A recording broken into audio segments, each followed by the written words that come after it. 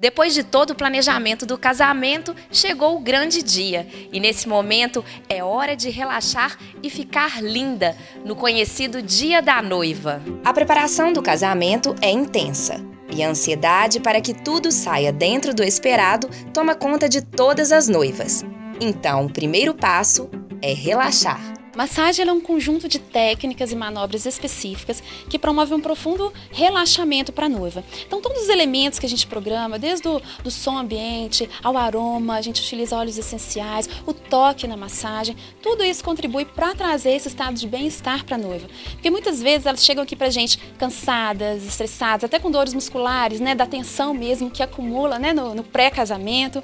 Então, tudo isso a massagem vai contribuir favoravelmente, vai realmente auxiliar a noiva noiva a voltar a esse estado de tranquilidade e relaxamento. Enquanto a noiva está recebendo a massagem relaxante, um banho de ofurô à espera, com leite cosmético e óleos essenciais. Depois de uma massagem, a noiva normalmente vai para o furu. O furu é uma banheira de madeira, onde a gente tem uma água aquecida em torno de 38 a 40 graus Celsius.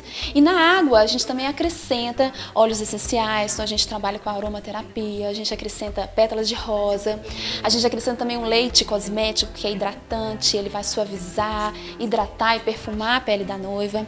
E o ofurô é um dos rituais mais relaxantes que existem hoje, na verdade. Ele é de origem japonesa e é extremamente relaxante e excelente depois de uma massagem. Após a hidratação da pele, é hora da preparação da maquiagem e do cabelo. Algumas dicas ajudam a acertar nesses detalhes. É interessante a gente conhecer o estilo da noiva.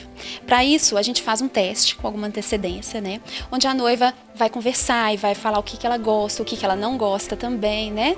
Porque muitas vezes é difícil para a noiva, ela não está acostumada a maquiar, ela não está acostumada a fazer um cabelo, fazer penteados, né? Então o teste vem justamente para isso, para a gente conversar, para a gente prestar toda essa consultoria para a noiva, para a gente ver como que é o vestido, como que é o acessório e combinar tudo para ela ficar linda no dia da noiva. E depois de ter seu dia de princesa, chegou um dos momentos mais esperados: colocar o vestido e aguardar para dizer o sim no altar.